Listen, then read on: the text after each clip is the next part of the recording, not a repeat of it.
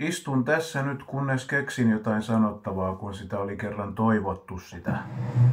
Venas nyt.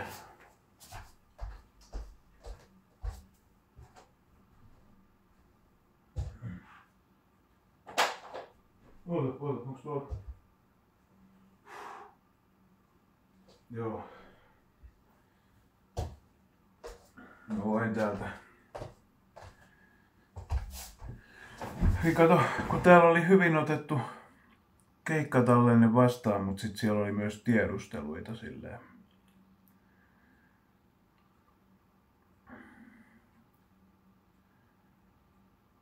Että miten päädyit?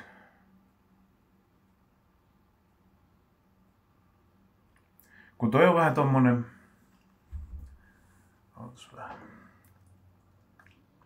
Tää tarvii dopea.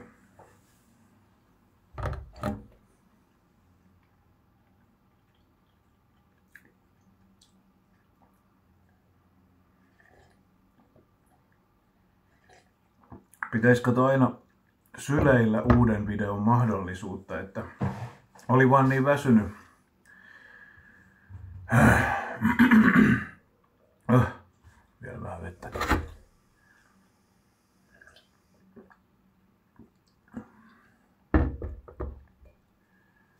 Kun se on, siihen ei oikein ole mitään vastausta, että miten päädyin. Kato, kun mä yritin muistella, että minkä sosiaalisen median kautta että oliko joku DJ vaan tykännyt, tai oliko se jossain suositelluissa tota, eventeissä. Mä en usko, vaikka mä niin olen katsellut vähän noita Butteknon livejä, niin se niin kuin pomppasi sieltä nimilistasta esiin. Mun mielestä Kaikussa on semmonen kuin DJ Victoria, niin ehkä sen kautta sitten jotenkin oudosti löysin sen eventin.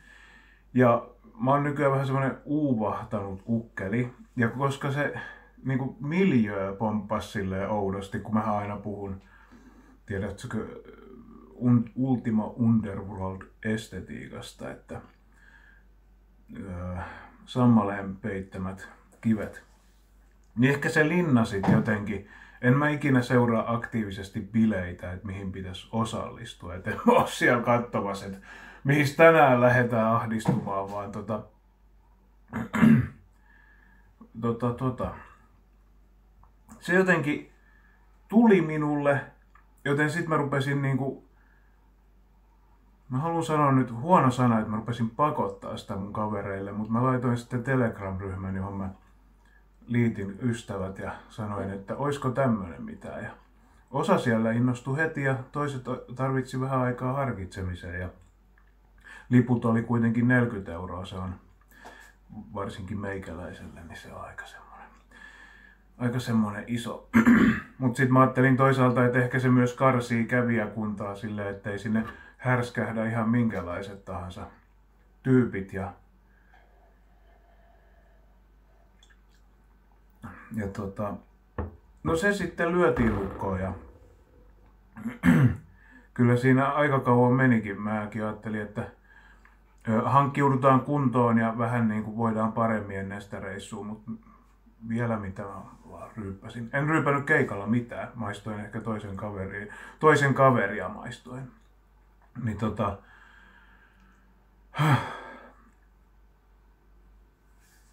kuskille kiitos. Mä en nyt nimeä tässä ketään. Meillä oli hyvä seurue. Ei mitään ylilyöntejä. Ja tota, seurueelle myöskin kiitos. Uh, kun mä en kuollaksenikaan, se mua nyt askarruttaa just, että miten, mitä väylää pitkin mä yhtäkkiä mukaan löysin sen, koska en mä eti bileitä.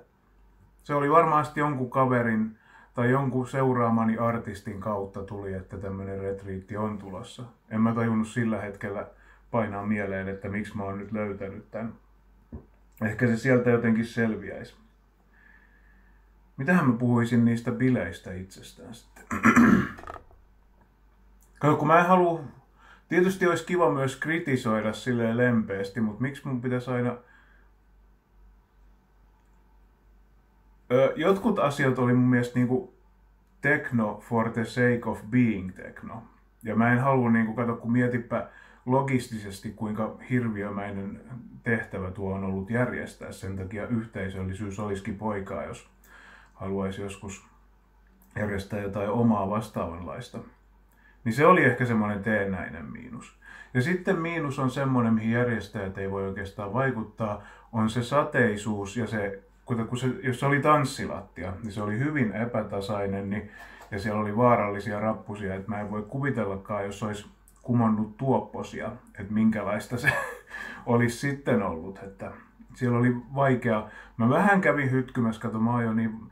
Siis mä, mä en halua sanoa, että mä en halua piiloutua vanhuuteni taakse. Jos mä olisin tiennyt, tai jos mä olisin ollut omistautunut, niin olisin mä päässyt vanhuuteni kunnianpäiviin varmaan intensiivisellä tehotreenillä, eikä se olisi ollut niin tuskallista seisoskella ja loikkia niiden kivien päällä ja jyrkkiä rappusia nousta. se, se oli vähän niin kuin porrastreeniä se koko linna. Ja, ja tota, se pääsali, eli se linnake, niin siellä oli koko ajan se tum tum tum, ja siis se on ihan fine, kyllä mä nyt ymmärrän, että se on nykyään se juttu. Ja siellä oli muutama ihan maukas biisi.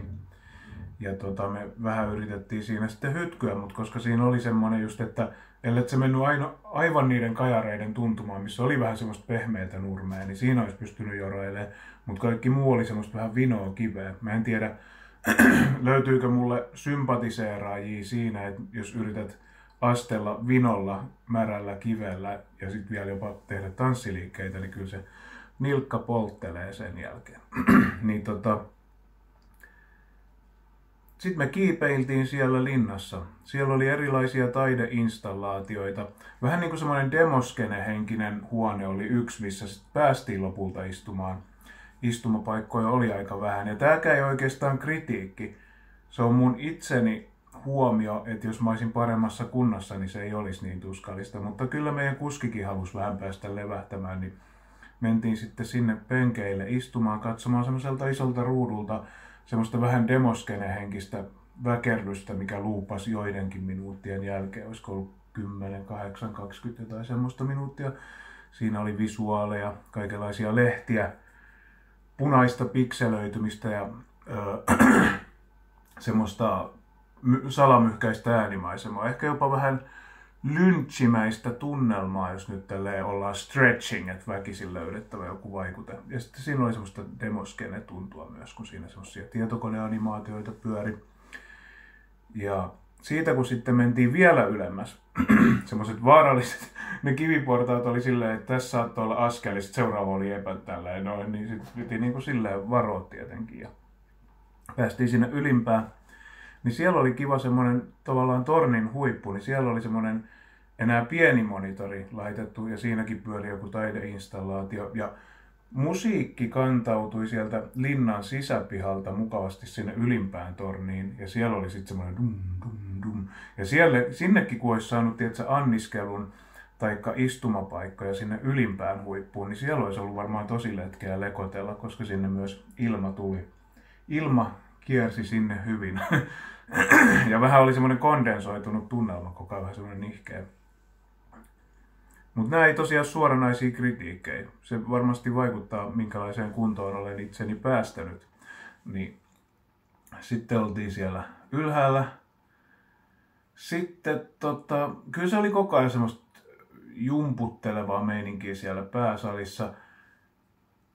Vitsi kun tuntuu, että mä nyt liikaa ruikutan tälleen.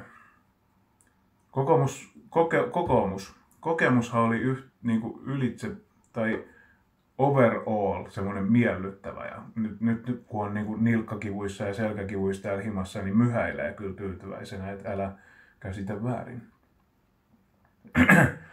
niin sitten me mentiin sinne, öö, mikä toi on, metsästagelle, niin sielläkin oli logistisesti hyvin vaikea toteuttaa niitä istumapaikkoja. Ja istumapaikatkin on vaan kritiikki siinä mielessä, että mä oon huono kuntoinen. Mutta onhan se totta kai, niin kuin jos sä teet chill out stagen, niin sinne olisi melkein pitänyt tuoda oma retkiakkara, koska ne oli niistä eurolavoista vai mistä, niin oli tehty semmoisia istumapaikkoja sinne. Ja dupi soi kyllä tosi hiljaisella aluksi, että ei ollut silleen, se oli vähän semmoinen johdantohenkinen. Mun pitää kohta katsoa, että miten ne esiintyjät oli. Se oli semmoinen johdantohenkinen juttu.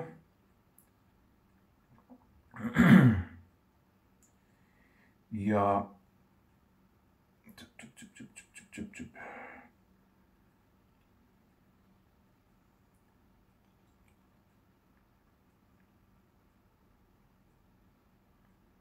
Niin mä en osaa katsoa näistä DJistä. Kato, kun mä sekoitin siellä koko ajan metsän ja pihan keskenään. Että onko tää nyt piha vai onko tää metsä, mutta varmaan monen tunnin päästä mä tajusin, että Kato, kun ei oikein jäänyt mieleen. Mä pystyn kommentoimaan vaan Metsässä oli just haasteellisinta se lepopaikan löytäminen, ja tämä lepopaikka ei varmaan olisi tullut kyseeseen, jos, se olisi, jos, mä, jos mä olisin treenannut rokihenkisesti vaikka neljä kuukautta tätä eventtiä varten, niin ei mun olisi tarvinnut sit myöskään vaikeroida. Ja totta kai, koska mä en luojan kiitos ollut kännissä, niin mun ei tarvinnut niitä juomia huhu kiiri, että joku olisi saanut juoman viidellä eurolla. En, en pysty vahvistamaan, mutta mun mielestä tyypillisempi juoman hinta oli kahdeksan euroa. Niin tota, ostin sitten veden, se maksoi kolme euroa ja sitä siellä se siemailin. Mulla oli myös laukussa neljä eväsleipää, mutta ne tulivat ö, tarpeeseen vasta paluumatkan alkaessa. niin Täällä oli semmosia artisteja livenä kuin Ysi, siitä mä en valitettavasti osaa sanoa mitään. Kuchina Powera, live, en pysty sanoa mitään. Fulcrum Dust, live, en pysty. Niin tää on tosi perseestä, koska enhän mä sitten ole tehnyt kunniaa artisteille juuri lainkaan. Sitten alkaa Gemkoolla.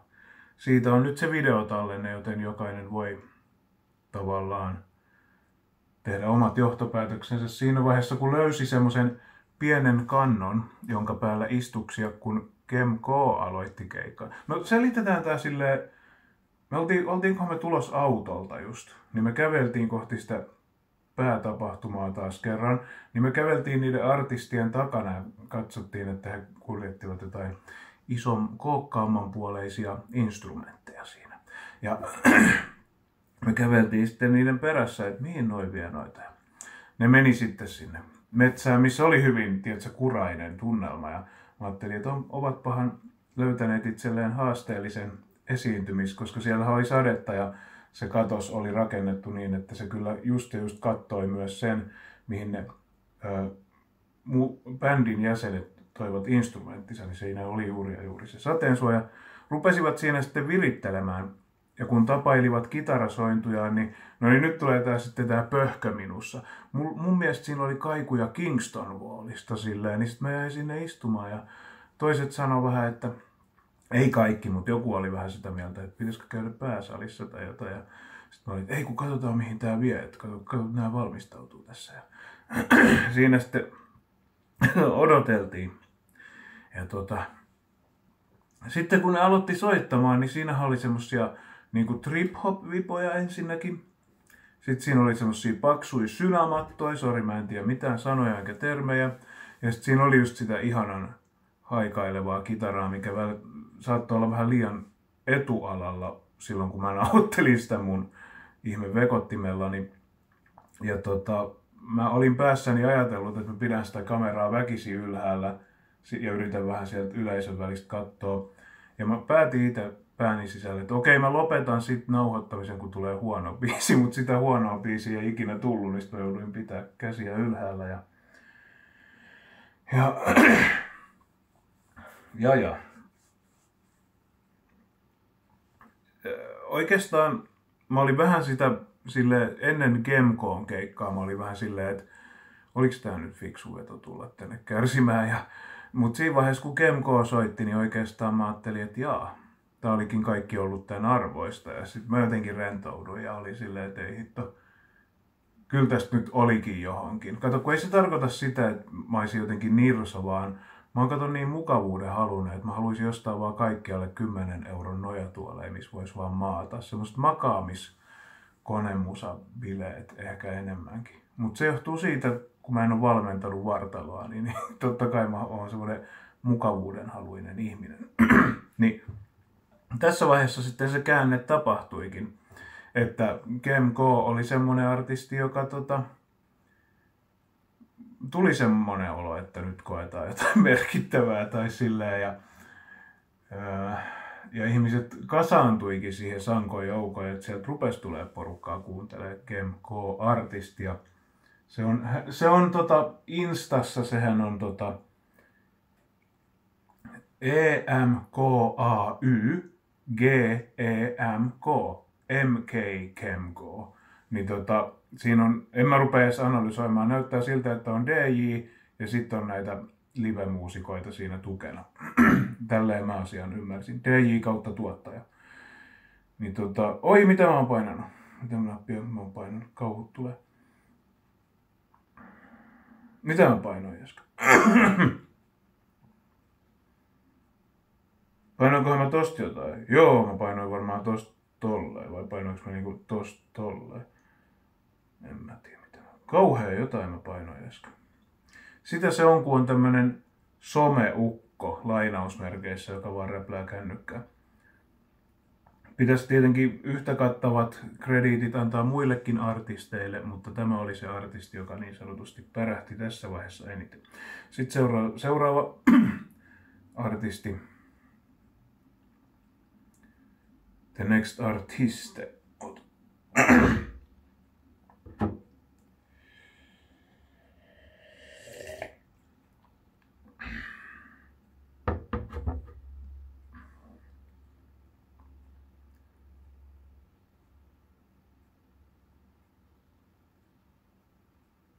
Uh,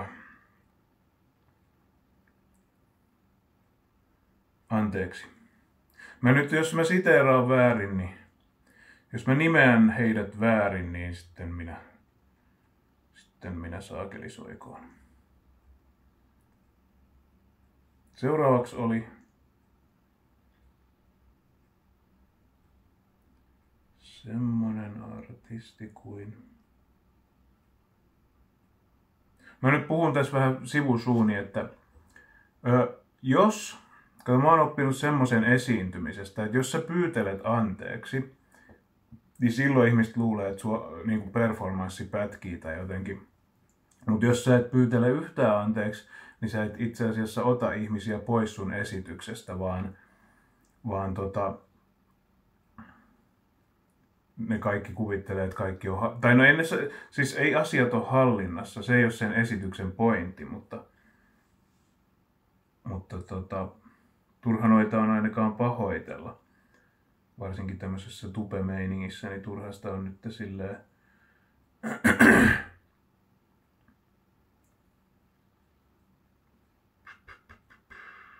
Kato, kun mä jatkan tässä pientä... Kun mun tekee mieli vähän vielä höpöttää.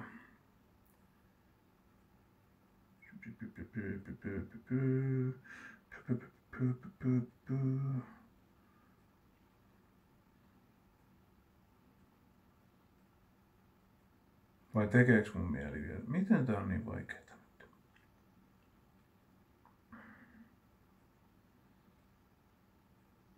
Otan sen tuolta haku. Niin tästä aikataulusta sitten Viktor Kalimalive. Niin olisiko se ollut semmoinen abstract? Yes. en mä oikein tiedä.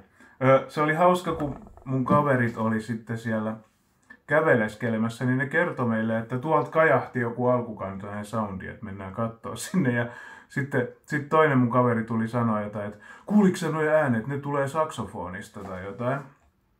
Ja, ja sitten mä olin, että ahaa.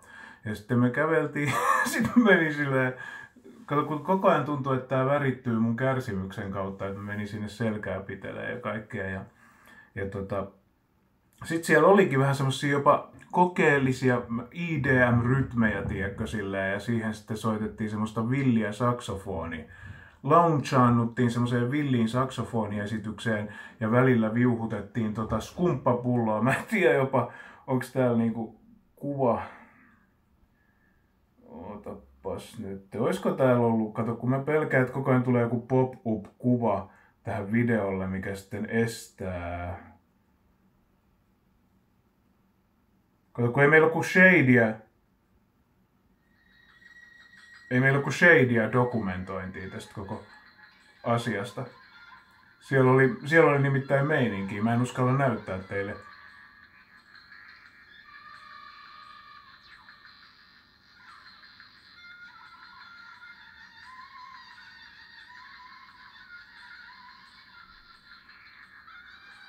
hyvää acid knop twiddlingia ja sitten launch, launchaannuttiin semmoiseen saxophoni performanssiin, että ei paremmasta väliä. Tosin se olisi voinut kyllä olla vähän kauhut inducing meininkiä, jos olisi ollut väärissä mielentiloissa. Mä vähän sille oman tuskani sävyttämänä en ollut niin paljon siinä, mutta en myöskään halunnut olla niin paljon linnassa, missä meno koko ajan äityi yl- järtsymmäksi. Luojan kiitos seurueeni lainasi minulle korvatulppia, koska se suorastaan täristeli rintalastaa. Mutta siinä taas nähtiin, tietysti hyvien bassojen merkitys. Että kyllä mä haluaisin tehdä keikan, missä olisi semmoiset pehmeät bassot ja tosi siisti niin kuin meininki. Mutta tossa mä taas näin sen, kuinka totaalisen painajainen se on ilman kunnon yhteisöllisyyttä rakentaa kunnon. Se oli mahtava se metsätilkku kyllä, koska siellä oli sitten se katos, nähtiin, että mitä se vaatii. Siinä oli niitä lankkuja ja sitten siihen oli rakennettu semmoinen läpinäkyvästä mikäli aaltopellin kaltaisesta kummajaisesta semmoinen katos, missä sitten nämä artistit tekivät omat performanssinsa. ja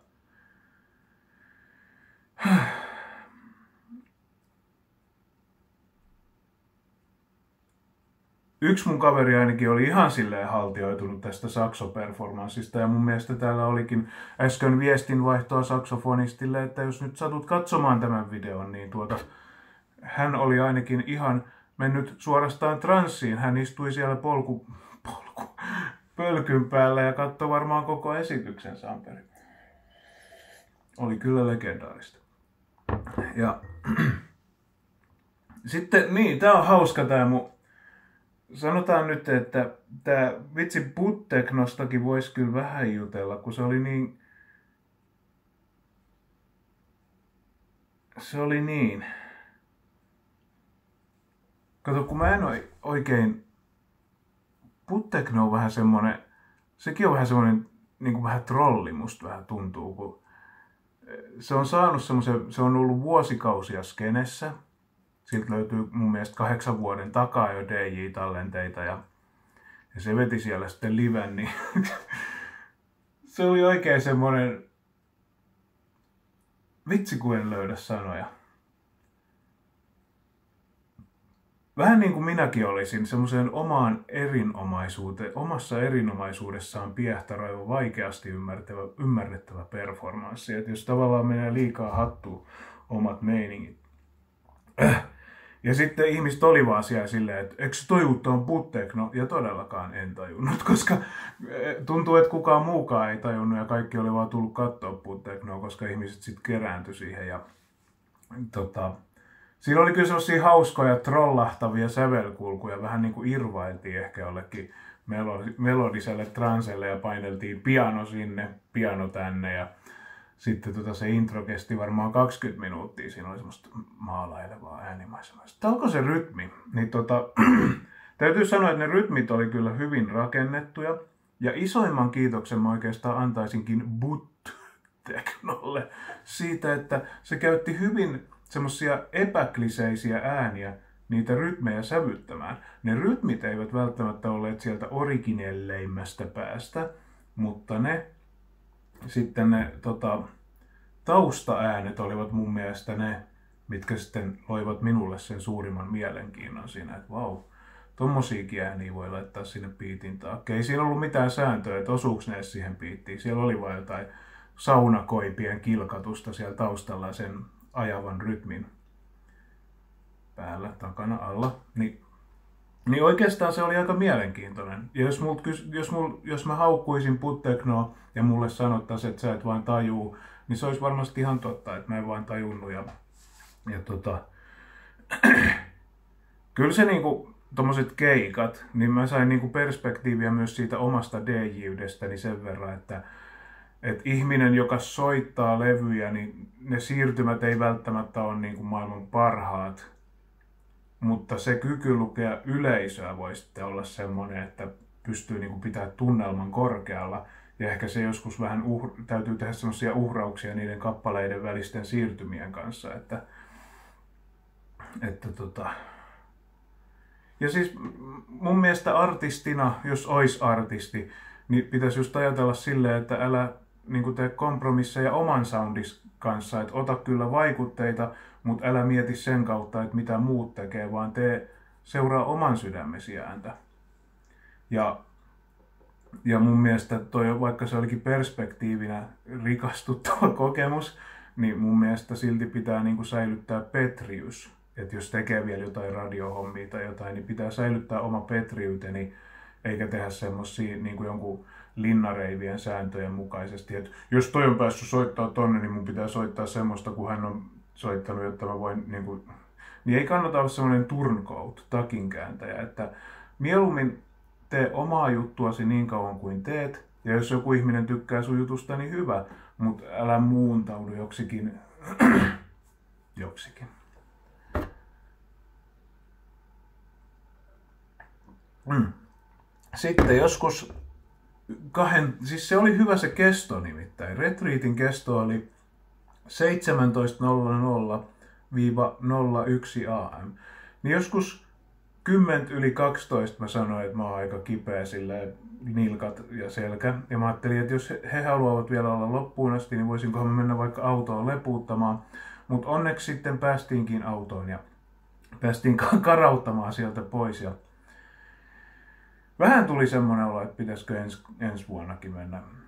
Mutta tota, siinä oli semmoisia asioita just, että mitkä on helppo antaa anteeksi, koska ymmärrän, että se on mun oma ikäni, että en mä ole enää nuori.